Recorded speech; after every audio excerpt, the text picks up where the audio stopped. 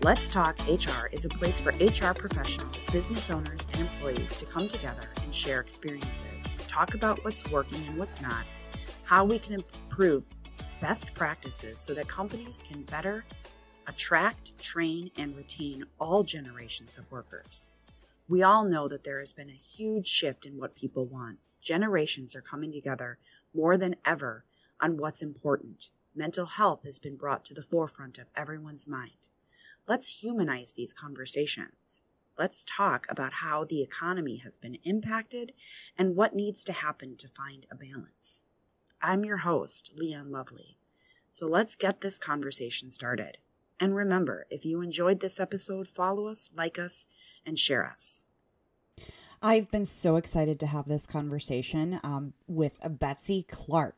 She's just an amazing woman. Betsy has been a successful entrepreneur for 43 years. Her mission is to help women let go of feelings less than or who are tired with struggling. You have done the work, yet you cannot identify or access your brilliance. Betsy breathes life into women's businesses and helps them leverage or monetize what's right with them, supporting women to live more fully, focusing on what they need to quiet their mind chatter so they can hear the whispers of their heart. Living out her tagline, Your Mindset Matters.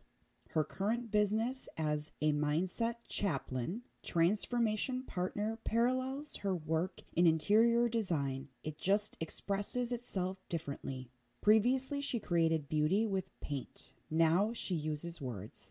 Betsy supports women to find their voice, communicate their value, and stop doubting themselves so that they can flourish in both life and business. She encourages, empowers, and equips women to step into their brilliance and be a leader worth following. Betsy has lived in Colorado Springs for the past 30 years with her husband and dogs. She and Archie are truly happy campers. They travel frequently in their truck camper to play with their kids and grandkids to soak up the beauty of Colorado and the Wild West. Betsy, I am so excited to have this conversation with you today. I've um, had the opportunity to talk with you previously, and wow, I'm just, I'm very excited. So thank you for coming on and talking with me today. Thank you. I am, I'm so excited. I've just been out of town and I, I really rearranged it so that I could be here with you. And um, I'm really looking forward to our time together. Yeah. And you, you travel quite a bit.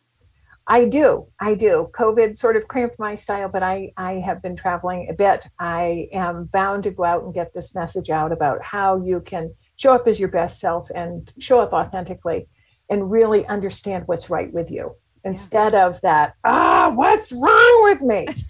yes. How can we shift that? Yeah. So tell me a little bit more about yourself. You know, where, where, where has this message developed? And, you know, tell me, you know, a little bit more about your passions so um, I've been an entrepreneur for over 43 years. I started when I was four. And um, I bought a business when I was 23 years old. I bought a franchise in an industry that didn't really exist at the time, and it was called weight loss. And so you can tell I'm, I'm older than dirt, and this was in the 70s. And so I was a diet coach and then I left that business because I sold my business because I got pregnant and realized I couldn't work at the level I was working at with a little infant. And then my husband and I went into interior design. We did specialty wall finishes and wood finishes. So I became a color coach. So you're starting to hear that there are some commonalities. And I've been an athlete and an athletic coach. So I I had an accident and I realized I couldn't do uh, interior design anymore and be on scaffold that was two stories high. And I walked away from the family business and I didn't know what I was going to do. I, I thought, wow, I have to reinvent myself. Well, I have learned since then we don't reinvent ourselves, we reinvest in ourselves. And it's just another chapter in a way that's authentic to who we are. And so my friend and I were walking, and I said, You know, I don't really know what I want to do. Um, I'm not sure what this next chapter is. And she said, Okay. And this is the power of a powerful question. She said, Betsy, what's your favorite nickname? Well, I got the Rolodex going. Okay, it's sugar blossom, it's honey pot pie, it's all no, it's none of those words. What's my favorite nickname? My favorite nickname is coach. And she said, Well, then, yeah, you're going to be a coach. And it was that simple. It was that simple. So my whole life, I've been a coach and I needed a community and someone to reflect back to me this is how you show up, this is who you be. And that's why I'm so passionate about what I do. We were never designed to do life alone. We need each other. And so that's what I am. I'm a support to women in business, and I'm the queen of perspective giving. And so that's who I am and what I do. That's awesome. And you know, it's it's you know, I've talked to so many people throughout this, you know, this journey of, of podcasting. And the one thing that is consistent through every time I've, you know, talked with somebody on, you know, what was the a pivotal moment or what was the, you know, uh, this or that? How did you decide? And it's, it's never, oh, I, I was sitting alone and I was staring at this. It's always, I had a conversation with something, somebody, and they made a suggestion or they had a comment or they it's it's never I was, you know, alone. It's always never. nope, it is never. And it's it's consistent through every single person I have spoken with and it is 100% true to exactly what you just said. We we don't go it alone. And even when you decided what you wanted to do, yes, it was your decision. Yeah. You know, we it's everything is ultimately comes down to your you know your choice in the directions that you go and this and that but it always comes from a conversation or a suggestion or a simple you know communication and often it comes from you know an organic conversation yeah over coffee or over a glass of wine or over food or and that's that is just it's so amazing amazing and that's the reason that coaches are so powerful for so many of us because being able to sit down with somebody and say, okay, I have all of these ideas whirling through my head, or I want to do something, but I just can't figure it out. Somebody like you, who's now what? I think it's for 12 years now, you um, have been the, what, the, the founder, the coach of Coach to Strengths. Yes. And that is yeah. what you you help you help people do that you help them level up so tell me a little bit more about specifically as to how that all started and the whirlwind of when it began when it began so to, to go back to your point about we've never done it alone mm-hmm. it is Brené Brown has this great quote we are hardwired for connection mm-hmm. and I love that. I think that speaks to what you're talking about. We have to do life in community and coming out of this pandemic and being isolated has really gotten people um, I think some of us have lost our social chops and our community chops, and we are so anxious to get back into community and to be meeting belly to belly, face to face. And so, um, I think that's an important piece that speaks to why I do what I do. Um, I I am the youngest of four. I come from a very close knit family and all that sort of stuff. And I because I was the youngest, everybody else was so much more advanced. And I was always comparing myself to everybody else, which is a setup because they were older, they were more mature, they had more skills. But I really held myself back because I was subject to the mind monkeys that were telling me I wasn't enough. I never measure up. You're just like all that negative self talk. And so when you see someone who's a coach and you see them pick their modality, they're really telling you a lot about themselves because the journey I have been on has been since I was 16 years old.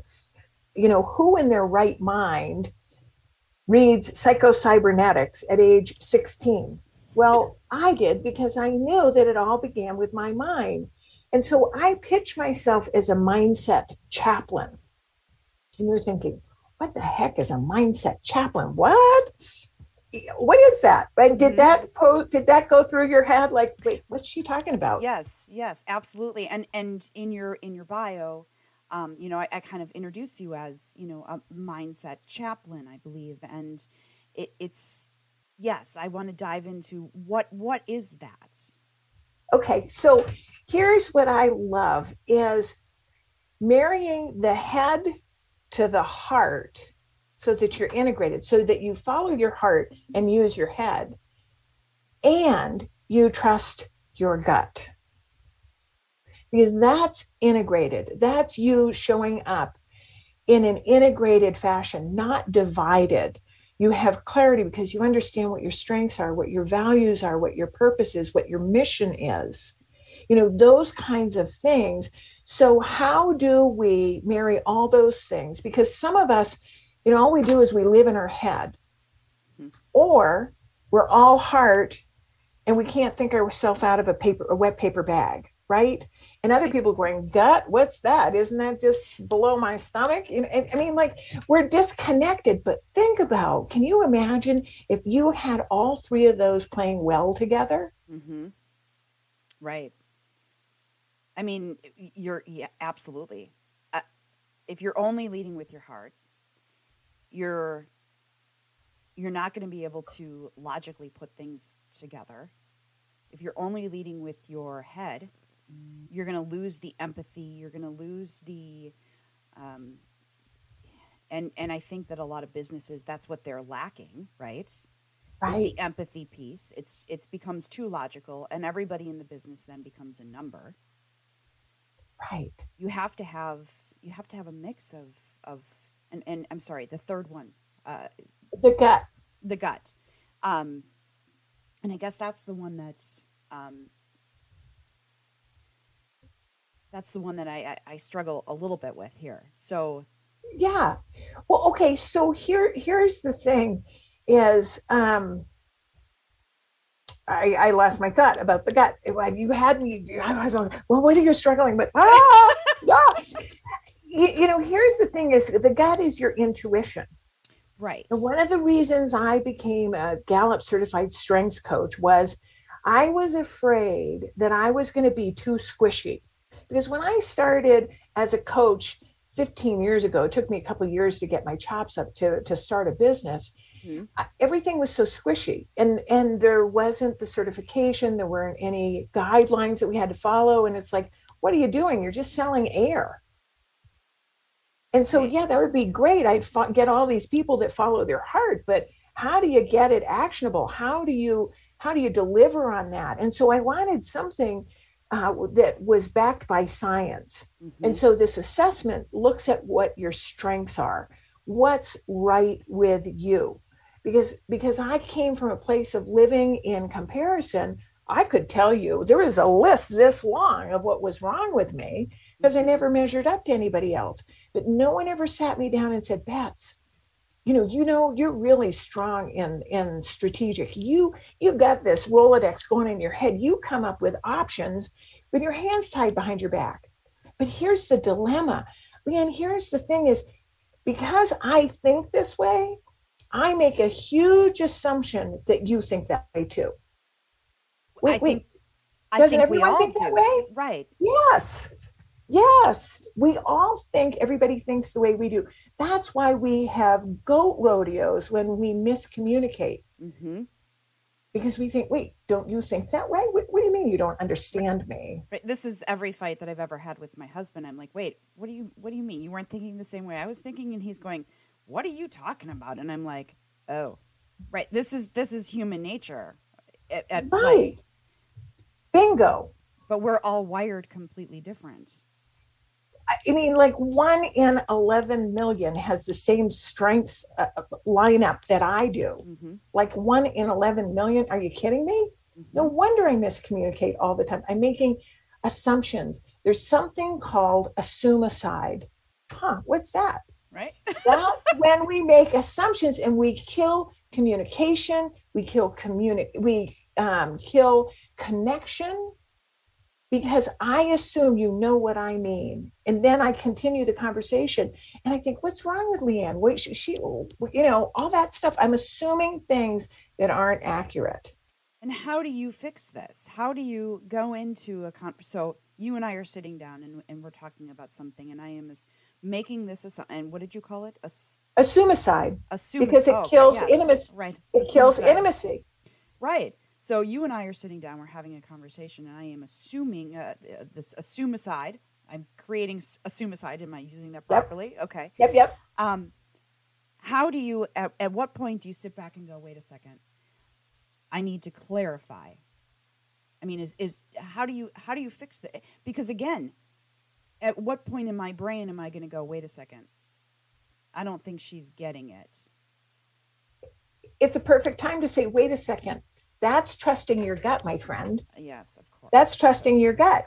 Okay, what are you discerning? What what is your gut telling you? Something's not not jiving here. Right.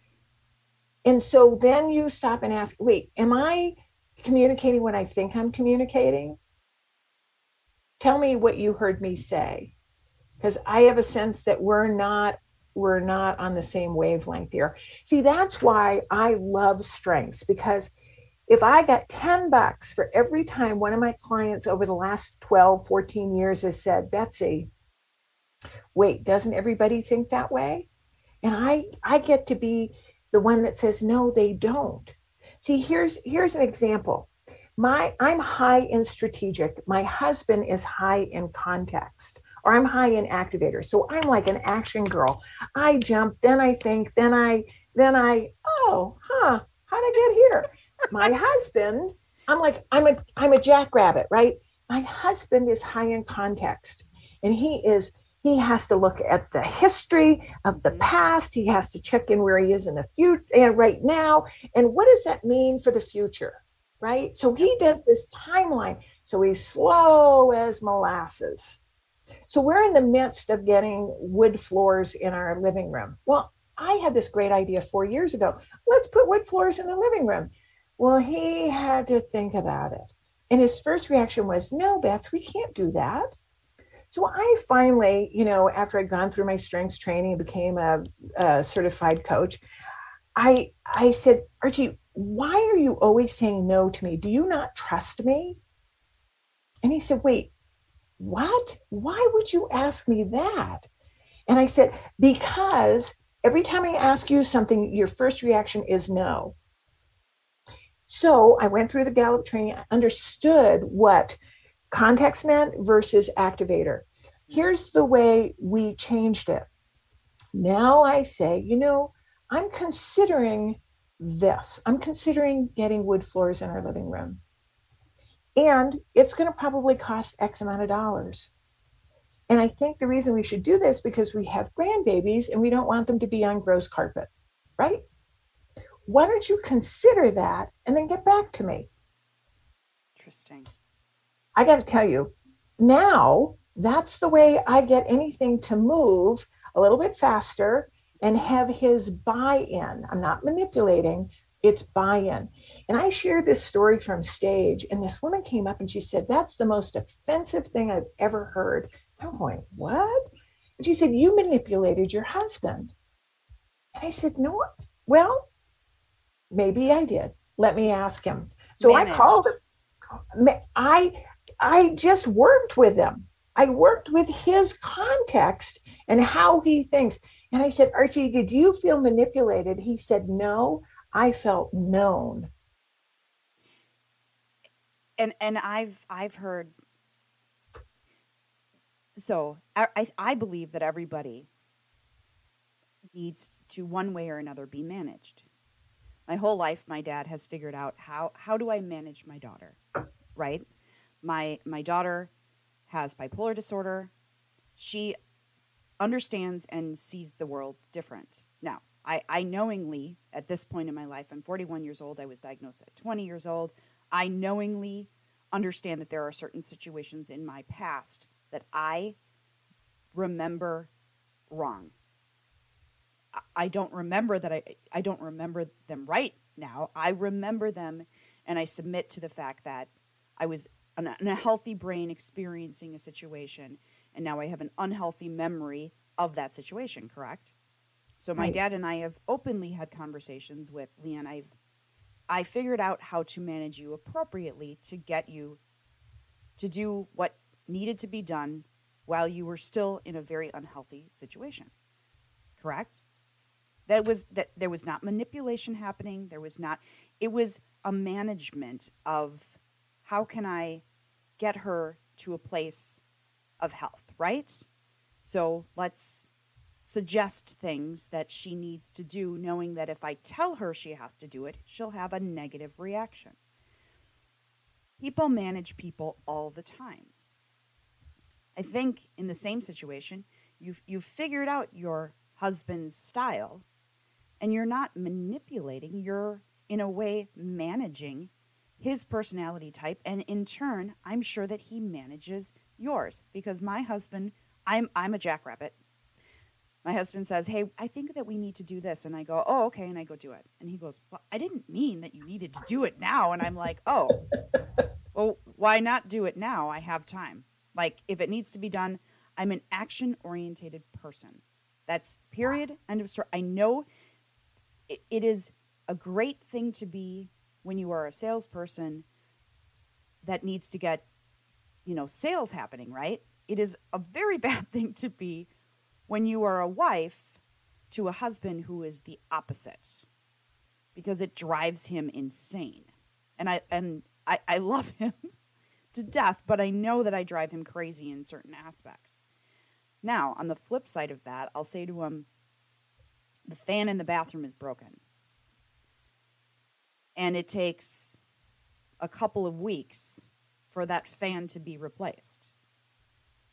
For me, I'm like, oh, the fan is broken? Okay, let me run to Menards. I'll go get a new one and replace it. That's not how he works.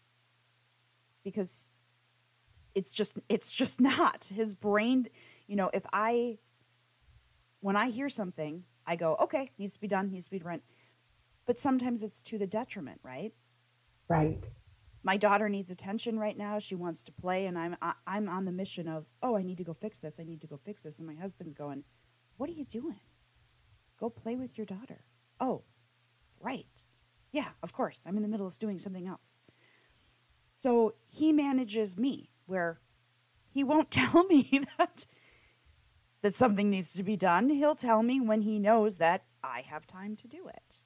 Because he knows that the minute I know, I go do it. Now, is that manipulation? I don't think so. I don't. I do not think that it is manipulation in any way. Manipulation would be, when I think of manipulation, I think that it's something that you're doing get somebody to do something that they otherwise would not do. Right, right. For your gain. For your gain, correct. But when you understand the strengths in other people's personality or the weaknesses in other people's personalities, it's okay to help them either play on those strengths or be better at those weaknesses, right? Or or to delegate what is not in their strong suit. See, that to me is where teamwork, and we're getting back to how we started this conversation. Mm-hmm. So if you look at your top five strengths and they're like a star, right? Here are your top five strengths. And I got mine. Instead of trying to be a well rounded individual, because we've been told we need to be a well rounded individual, what happens is we come, you know, like we're always defensive and we're kind of like in this posture because we're not doing stuff well, right? Mm-hmm. But what happens if your five strengths and my five strengths really work in concert? We come like this, like cogs of a wheel, and we move a bigger thing. And you're shining in your brilliance, and I'm shining in my brilliance. We can move a much bigger thing than trying to squeeze the life out of something and squeeze the flow out of it because we should be able to do this. And I'm so sick and tired of women shooting all over themselves. I should do this. I should do that. You know what? Delegate it. Right. Delegate it. Use your strengths and what your area of genius and brilliance is and make the money and make the impact that you can there. Because when I start, you know, squeezing down the life force of everything I do, I'm blocking a blessing. Because there's someone like I, my assistant, she loves doing my books. She loves my numbers. She loves the little, you know, dotting the I and crossing the T. And I say, God love you. Go do it, girl. Good on you. I need that because I need to be coaching. I need to be writing. I need to be out speaking, not doing those things that I'm not fashioned for. Now, I mm-hmm. understand my business. I understand what my numbers are. I haven't abdicated understanding or control of those things, but I don't focus on them because my strengths are very different than her strengths. Does that make sense to you? Absolutely. And it it it something went off in my head, something that my dad said to me. And I refer to my dad my dad was my greatest is my greatest mentor that I have ever had, my hero, really, um, and will forever be. Brilliant businessman. Um, ran a, an office of 60 agents in the real estate industry for 60 40 you know it went up and down for for many you know 40 years and one of the things that he said to me was you don't have to be great at everything. You just have to be smart enough to hire somebody who could or can be great at doing what you're not good at. And I'm like, oh, oh, okay. Well, if I ever own my own business or I ever get to a point where I need somebody, you know, and that's something that I think a lot of business owners or a lot of, you know, small business owners don't realize that once you get to that threshold, you you know you can delegate it out. You don't have to hold it all close to the chest that if you want to be able to level up there's that point at which you have to let go. Or right. you're never going to grow right? Right. So it completely makes sense. You know play to your strengths. And and and again this also comes back to if you are really strong at something do we do we should we be out there working on our weaknesses or should we just play to our strengths? Oh, I got an answer for that one. So so here's the thing. When we are working on our strengths, it's counterintuitive. I feel like we manage our strengths, to go back and use your word. But when we try and fix our weaknesses, we get into that fixing mentality. And the truth of the matter is, in my humble opinion, the only thing that needs to be fixed are stray cats and dogs people do not need to be fixed. And that really goes and that falls in line with what I've grown up thinking, which is play to your strengths. Right. And and so here's the thing is there's there's a continuum of your strengths. You can be um, immature in your strengths and you can be very mature. And so I show my clients what that can look like so if you use a scale of one to 10, and the tipping point would be 5.6, if you use that, that measure, you know, you check in and you say, okay, I'm high in strategic. Am I so over strategic that I'm getting into, you know, paral- analysis paralysis and I'm strategizing too much, I'm not acting? Mm-hmm. That would be strategic that's probably immature and um, you know, not disciplined. So teaching my clients what that spectrum looks like, you can check in and say, oh, on a scale of one to 10, strategic is running the show and she's running it at about a 3.5. How do I take it from a 3.5 and move that to a 5.6? So I get to the tipping point. So strategic is really a beautiful strength and I can leverage the crud out of it to get the results that we long for. So I'm not saying that your strengths are going to be the end all. There's going to be a variation in that. But what I do is I teach people to look at their top five strengths like an amplifier. You know, I don't know if you remember stereos and amplifiers and turntables and all that sort of stuff. I'm dating myself. No, that oh, shows you how old I am. No, no, no, no. You, you, you know, right now in the other room in my house, I have all of that equipment. Okay. My right, husband's so you, a DJ. oh, okay. Well, you get it. Okay. So think about that. There are five knobs on that amplifier. Mm-hmm. If you think about that as being your strengths amplifier it amplifies your strengths, right? So that it's juicy goodness coming out of you, right? But your your husband being a DJ doesn't just blast everything up to a 10. It's nuanced. You have to, you know, you have to adjust for the song, for the environment, for the occasion, for whatever. I mean, it's not everything like Spinal Tap, the movie, that mockumentary, everything's an 11. Mm-hmm. Um, but it's dialing. So if I'm going in and I'm going to make a, a report to board members, I'm going to nuance my strengths differently than if I'm going out to a happy hour with my girlfriends, right? Right. So we're not just a one trick pony that just comes with everything to a 10. It's learning the nuances and how to leverage yourself and be um, to be effective and to be integrated. That makes sense to you? Uh, absolutely. Absolutely. It's wild. I was having a conversation with somebody actually earlier today, and he asked me, um, he said to me, What do you think about people being promoted and and then and failing? So somebody, for instance, and, and the conversation kind of went like this a sales per- professional or a producer who is just outstanding in their role and then being promoted and failing. And why is that happening? And you know, my answer was, well, often we find our greatest strengths and we enter into that field. And people see, you know, and I'm speaking from a, a salesperson's point of view, and people see that, wow, they're so great at selling, awesome at selling. But then somebody assumes that because they're so great at it, they would have the ability to train or teach or lead. But that's an assumption based on the fact that they're capable of doing it. Doesn't necessarily mean that they're capable of leading or training or showing others, right? Right. So I guess, you know, my follow up to that is, you know, how how do we identify the strengths in those individuals? How do you identified the leaders?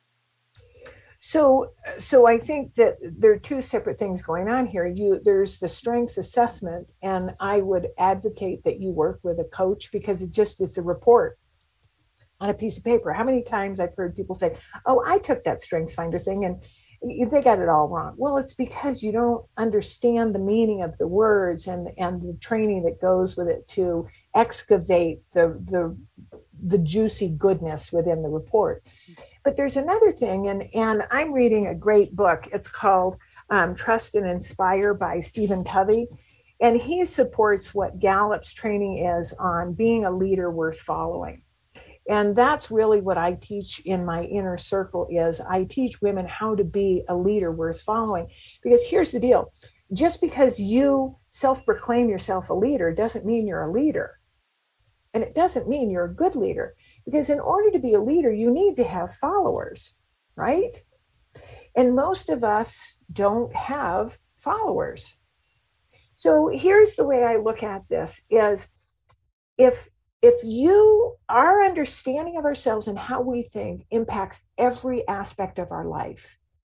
So if you don't really understand what your superpowers are and what your strengths are, you're just kind of grabbing at things. Oh, well, that that that sounds good. We don't internalize it and say, hmm, how's that going to impact me? And can I be uh, effective in that? So I work with clients and I have them just sort of that that inner itch of inadequacy and not enoughness. We just settle that and we talk about you know when access your inner swagger own what you you bring to the table and understand what you need in order for you to be sustainable and to be effective going forward. So we kind of get that your your itchiness about am i or am i not out of the equation. That's settled. But then we talk about what are the things your followers need. Because you know here's the deal. Our leaders have been in control and command and they intimidate they yell they tell us what to do all that sort of stuff and we need a new kind of leader now and research shows that we need to have four pillars when we lead, and it's about our followers, we need trust. We need compassion. We need hope and we need stability. And this is research way before the pandemic. And if we ever needed those four attributes and characteristics, we need them now. And, and to inspire people to step into their potential, trust is so necessary for us to innovate because how we do business now is very different from how we did business even three years ago. Mm-hmm. And so I'm, I am on a mission to help women step up into leadership and to be authentic, really good leaders. I was going to say something else. Um, really good leaders and to own their leadership. I mean, here's the thing is I um I have these grace cards which I will make available if anybody wants them. But it's how to lead power with grace or leads with grace. I mean, grace is a very big thing. It is so winsome and compelling, and it lets people be known, known that they are seen, they are known, and they are heard. We need grace. Mm-hmm.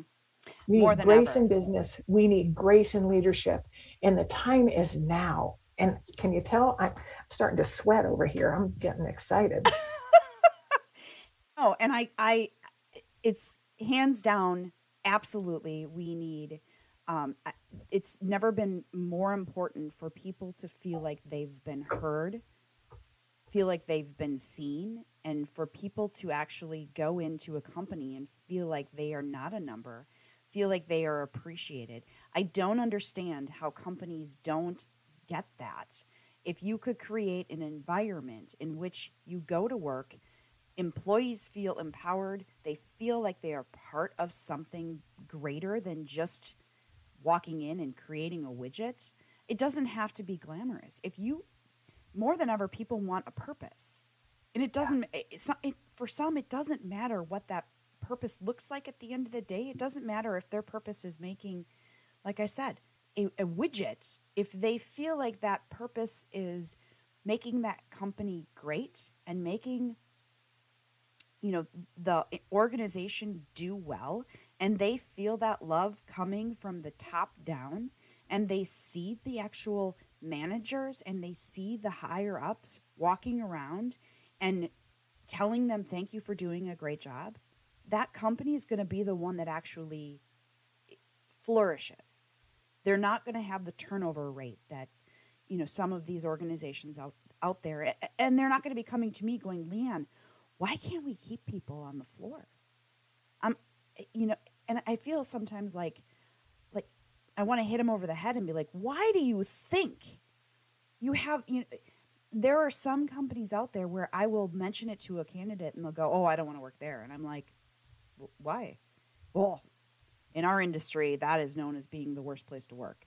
Would never go and work there and i want to go to that company and be like do you do you know what your reputation is i mean do you have any idea what your reputation is and as a as a company if you get that reputation and everybody who's in your industry knows you as the shittiest place to work yeah. you're, you're done you're never going to be able to employ great people you're going to get the bottom of the barrel and it's going to take forever for you to dig out of that you at that point become you're at risk of of never bouncing back.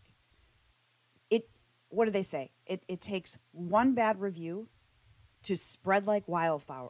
You know, everybody loves to like the bad reviews. You could you could destroy your reputation and not have enough employees working at your organization if you continue to treat your people like shit. Yes. But if you go and you start treating your people great and everybody's talking about, oh yeah, I, I love working there. It's it's an awesome place. Does it spread as fast? No, it does not. Because again, like I said, everybody loves to spread crappy news for some reason. Yeah. But you become the place that everybody wants to work at and you continue to keep that reputation going because you're treating your people great, you're you're going to have a happy healthy workforce that doesn't want to go anywhere, and you're going to do great in this marketplace. And, and I just, as somebody who's been in the industry as long as I have been in the industry, in staffing and in HR, I, I don't understand why, you know, companies don't get that, especially the smaller, you know, mid-sized organizations. It's like, come on, get your shit together and start treating them like and I and I know paying the highest wages and I'm going on a complete and total rant, but this is this is where my passion, you know, it's like start treating your people you, you may not be able to pay the highest wages, but start paying your your people the best you can. Offer some, you know, insurance and if you can't afford insurance, then offer them you know, a little stipend. There are new plans out there where you can put, you know, it's like an HSA, except it's not. I can't remember what it's called, but I learned about it just recently um, where they, you know, you can you give them money towards an insurance plan. Have outings again, get-togethers, have the upper management, and this is extremely important. Upper management needs to be there. They need to walk the floor. They need to talk to their employees. They need to show their face. Because those employees who are working the floor, who are doing the most important thing for your company, which is making your product, right? they pretty much look at you as the guy who's driving the, you know, the really expensive car in the parking lot that doesn't give a shit about you. Right. And if you're not present, that's what they think about you. Well, and so I it I think that goes back to the four pillars. They need your employees right. need to trust you. They need to know that you have compassion. You know what? My kid got COVID and I can't come to work for a week. Okay, let we're going to work around this. I mean, I know that there are boundaries and there are policies and procedures and all that stuff. There has to be compassion. You mm-hmm. know, maybe you create a meal train for that employee for a week. I mean, what does that cost you? Not much. Mm-hmm. And what it ret- the return on that investment is priceless. What about, you know, stability? You know that you're going to have a job when you come back. What about hope? It's right. it's painting things are going to get better in the future, and you can trust that. I mean, at the end of the day, we're talking about culture, yep. and we're talking about how to inspire. Okay, the Latin root of that means to breathe life into. So walking the floor and knowing the people on the floor's name that breathes life into them and it gives them hope it gives them purpose it it gets to hey i know why i'm doing this because the head guy knows that my kid just had covid and he was the one that or he was the one who okayed the meal train i mean like i know this sounds really stupid and and betsy you're missing the point but these are the kinds of things that change the culture that bring people to work every day with a benefit mindset instead of a, a negative mindset. That that one bad apple can ruin a whole department. Mm-hmm. But when you have a benefit mindset, it's a win-win uh, mindset. Everybody wins. Right. And absolutely. that's how you make an impact. Yeah, absolutely. And I have I've walked into amazing companies that I I mean, you walk in and they have state of the art they they have a professional chef that cooks lunch every single day for their employees. And that's included. It's free. You know, you you walk into an or and this was a small company. I'm not talking about like a monster company. I'm talking about this is a not a really large co- and I, am like, seriously? I'm to come work here.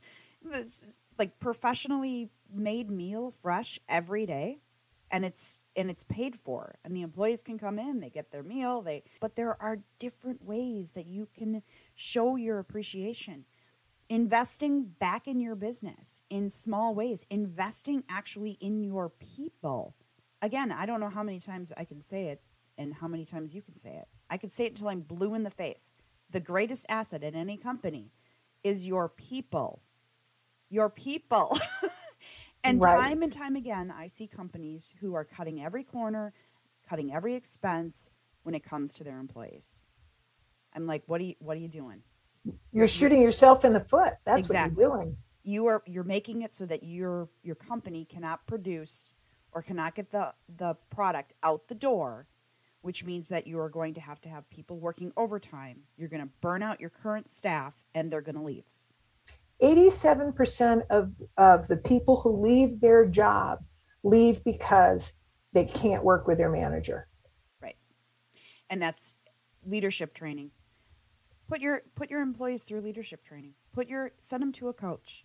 So this is all circling back to what you do and what more companies absolutely need because you're right. You're absolutely right. And you know what? There I have left companies not because I did not adore the company, the upper management. I've had great relationships at but when it came to my direct manager, I, I had no choice. I had to go. And and even though I stayed beyond my time and I tried to work and I tried to make it work, it came down to there was one bad apple, one bad manager that just made made my life miserable or made the lives of other people miserable. And the fact that a lot of companies don't even do exit interviews anymore. Yeah. You're not even attempting to fix it. Right. You're, so, but but here, this this whole thing, what we are talking about is trust. It's trust. right. Uh, you know, Stephen Covey did another book, The Speed of Trust. And when trust is high, costs go down and efficiency goes up. When trust is low, costs go up and production goes down. And the truth of the matter is, the teams that have to always be talking about trust are the teams that don't have trust. If you're on a team that that they you trust each other and you have um, open communication without assumicide, they don't talk about trust because they got it, they they flow in it, and it's juicy and it's great. Yep. But trust, trust changes everything, Leighann. Everything. Absolutely. Human connection, trust, comfort. If you have an environment where somebody can walk in and say, you know, I need to talk to you, I'm, and again, you're not going to have this conversation with a manager you don't trust. I'm struggling. I, you know, have this going on at home. My daughter need, needs this, or my husband needs, or I need this. If you trust your manager, you're going to be able to have an open, honest conversation about what's going on with you, and you're not going to you're not going to be ashamed about that. Otherwise, Right. if you don't, you're just going to call in and say, "I'm sick."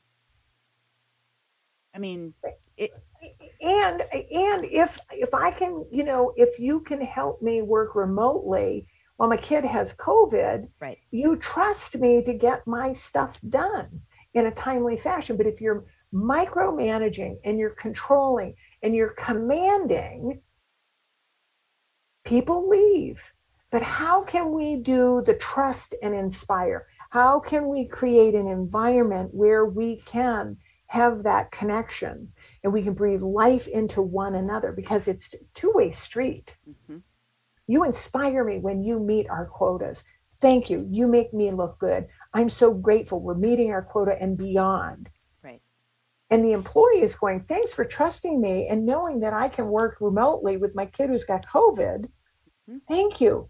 That inspires me. I will work harder for you in the days the months the years ahead because i know you've got my back You know, and it's interesting that you say that because I I've talked to many people who are like, well, you know, I don't.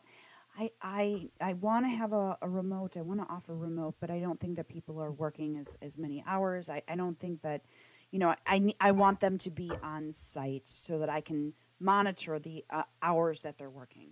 micromanage right right but statistically and i don't have the statistics and it's been a long time since i read them and um, statistics showed that people were working more hours and harder from a remote role than they were on site. And the reason the reasoning behind that was they eliminated their commute time. They eliminated you know all of that stuff in, in in the middle. So they were able to get to their desk earlier because now they're not sitting in the car for you know what i would say that the average commute time is anywhere from 20 minutes to 45 minutes. So now they're not sitting in the car. They they've got that much less time away from their family because you're not really working an eight hour day if you're adding in all the commute time right? I mean you're actually away from your family for a minimum of of nine to ten hours or i should say away from your home because see- you're commuting Well, and the other piece is, you know, I I am unemployable. Uh, let's just face it, I really am. And you know, when I worked in a in a large organization, I had to keep my door closed because I was in a in a leadership position. A good part of the time, people would just come by you know, and they'd go to the coffee and they'd have a cup of coffee and they weren't even on my team and they'd just stand in the doorway and kvetch. And I'm going, oh, please, are you kidding me? I, and it isn't that I don't want to be friendly, but when I have a deadline, I want to be able to get her done. Right. And so what's happening is when you're working remotely, you don't have as many distractions and meetings and the minutia that, you know, being on site can and and there's the flip side we do need connection i get that right. but how do we marry those two things so that it supports um, efficiency and effectiveness and so i think that there's uh, there's a place for both and how do we weave those things together so that we're accomplishing what we set out to right my partner um, in my day job works in california i talk to her constantly. We have teams. When I have a question for her, I can either message her on Teams or I can just video call her and be like, "Hey, it's it's like she has an office next to me." Right. I, it's there is a constant line of communication. Is it the same as being in person? Absolutely not. Do we need in-person connection and communication? Absolutely. Yeah. But we have we have discovered over the pandemic that communication does not necessarily have to happen in person. You can be you can work from anywhere and be just as productive. Now, I know that people like the and again, I when we started going back into person and, and having in-person meetings again, I was thrilled because I am a extrovert through and through. And Betsy, I know that when you started being able to go out and do speaking engagements and all that, I'm sure that you were probably over the moon, ready to get back out there. I was. But again, I I'm I am 100% an advocate of the the remote or hybrid you know environment because it it has opened the door for so many people to to have the ability to be or have a work life balance. Now, I also I don't know, have you ever heard of the show Alone? No. Mm-mm. Okay. So it's this show, a new reality TV. My husband and I watched for. Um, I think he still watches it. They they drop these these, um, like major like re- like survivalist people, like hardcore survivalists, in the middle of nowhere, and they're by themselves. They have basically nothing. They have to make shelter for themselves, and these are harsh territories. Um, they have to make shelter for themselves. They have to find food for themselves and blah, blah, blah. But that's not even the hard part for them. They are dropped in complete isolation. Ooh. Complete isolation from the human world. And the majority of these people, it's it's not so much the hard work because they're all hardcore survivalists. Many of them, the first thing that happens is they go practically crazy because they can't talk to anybody. Yeah. Uh, yeah. We as humans, going back to how we started this, we thrive. We need human connection. Yeah. It is it is the way that we were designed. It is a, a trait, it is a it, it's in our DNA. Yeah. But there are so many different ways that we can have that human connection. Right. So what was your takeaway on this call? Wow so much. Sorry, I'm a coach. I just I, I know. know. I, I don't even know where to begin. Um, you know, there's a lot that um, that we talked about that has re reconfirmed many of the things that my dad, who obviously I mentioned earlier, is you know had had said to me over and over. Um, but there are a lot of things that that just kind of blew my mind. Um, I would would love to see you speak I I'm very interested in the modality um, of, stre- of strength finders. Yes, that is that is wildly in the four pillars that you had talked about. But I'm also really interested in the kaleidoscope in your headshot.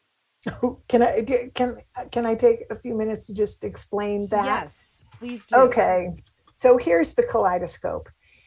So, being a mindset chaplain, it all begins and ends in our mindset, right? So, I want you to play with me and I want you to pretend you're looking through the kaleidoscope. And I want you to take a snapshot of the image of the color and the light and the symmetry and all of that, this beautiful design. And then I want you to take the end piece and turn it a quarter turn to the left. So, what happens? changes. The picture changes, right?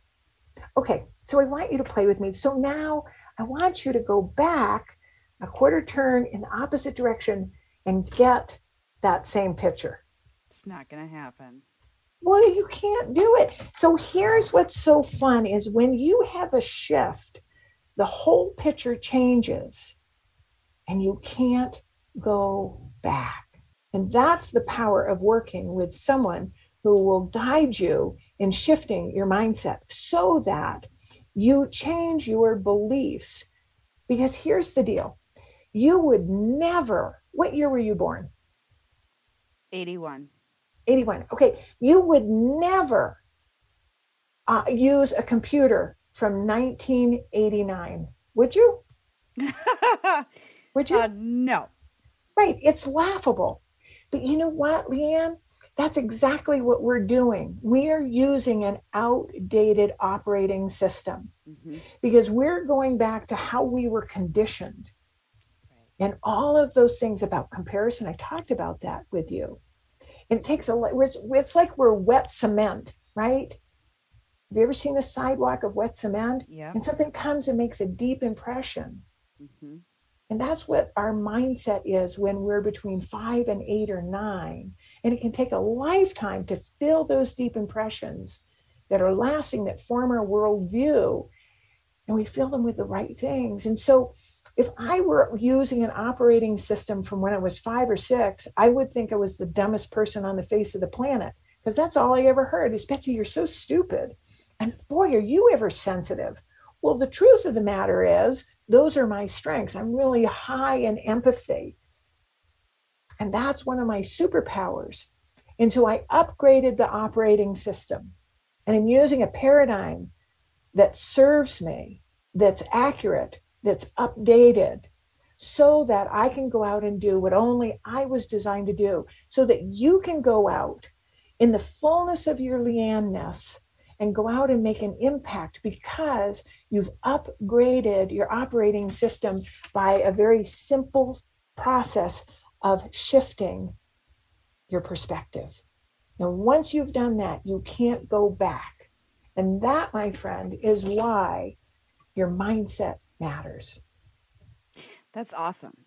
And and we all eh, we all need to do that. Ex- yes. Especially now. Especially now. And that and that plays truly into the reason that I have started, the reason I originally started this podcast. So many people out there have ha- had to hide their true identity in fear. So many people, and I'm not just talking about people. Eh, eh, Some, many of my, you know, longtime listeners are going to go, "Oh, she's talking about mental health." I'm not just talking about the mental health aspect. No, I'm talking about people who have children, people who have, you know, things going on at home, who are taking care of loved ones for so long they you know people thought that they had to walk into work and leave all of that crap at the door in order to keep their job that should not be that way we shouldn't have to become a different person when we walk into our jobs. We all have baggage. We all have a life outside of work. And we should be able to work with people who understand that because they have it too. Yeah maybe the 20 year old or the 23 year old who's free, you know, right now living in the free world and doesn't have to deal with all of the stuff. Course, right now, unfortunately, half the world is suffering from social anxiety because we all shut down for a million years. So they probably understand just as well as the rest of us that we all have it. We have to stop. We have to stop expecting the employees to leave it all at the door. We should all be able to be our authentic selves, and we have to have a a mind reset. We have to have a shift on the way that we think of people. We are not just numbers. We are human with a lot of human emotions and all of the mumble jumble and baggage and emotions and stuff that comes with it. And I'll stop there because I like to go on rants. Well, but, it, it, I think that's why those four pillars matter. Right. Trust, compassion, stability, and hope. We need to bring that here. So here's something that I would I you haven't asked me, but I'm I'm just going to offer this, and you can edit it out if you don't want me to say this. But I have these grace cards, and I would love to offer this as a free gift to your listeners.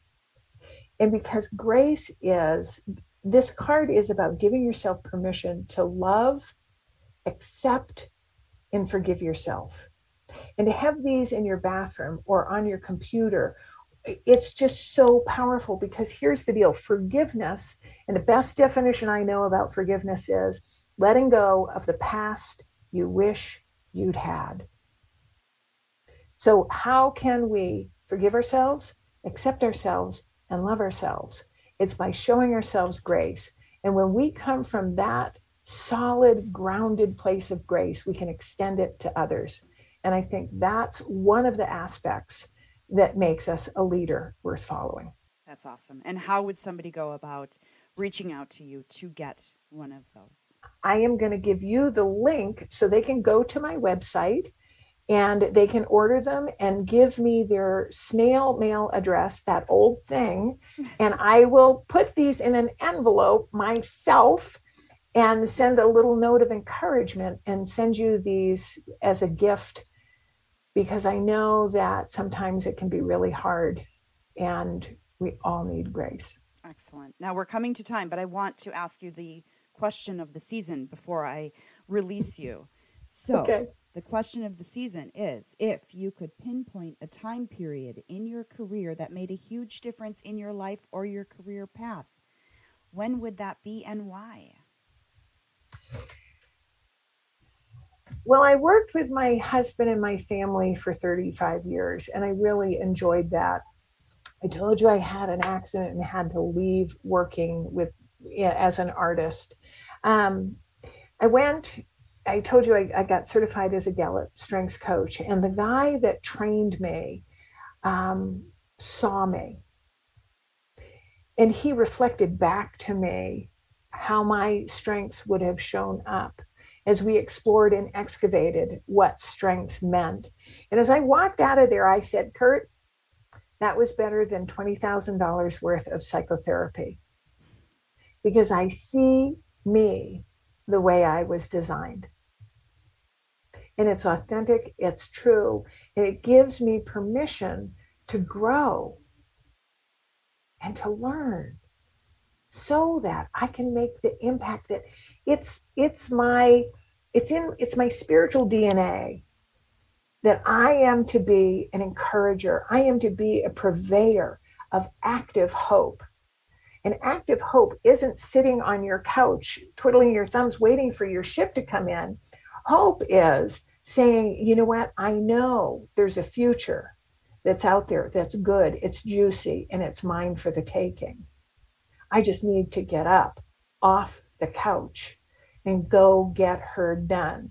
Because the, the acronym for hope for me is having an optimistic perspective every day. Having an optimistic perspective every day. Because you see, the picture changed, and I see that I am capable of a lot because someone breathed life into me. They inspired me to be my best. And that's what I want for my clients. For the women who don't know what the next step is, I'd love to have that conversation with them. And I think that having grace is one of the things that'll make a difference. That's amazing. And and wow, that's amazing. So I would invite people to go to my website. It's coach two strengths.com and it's coach with the number two and strengths plural. Make sure you spell strengths the right way. And you can go and you can see all the different things that you can get as free opt ins, or if you feel like you would like to have a conversation with me, complimentary, just, you know, ask questions and see if if you're primed to take a step to leverage your brilliance and to be that leader worth following. And I am going to have your, um, you'll be able to find how to reach out to you on the show notes. So if anybody wants to, you know, um, find you there, they'll be able to click a link to directly to your website. So, but Great, Betsy, thank you. Thank you so much for having this conversation. It has been awesome. Um, just like the first conversation that we had, and I'm sure other conversations will come in the future because you're just you are just a bright shining star and I just really enjoyed really enjoyed this. So, thank you. Thank you so much. It's been a joy. I told you we'd have fun. Absolutely.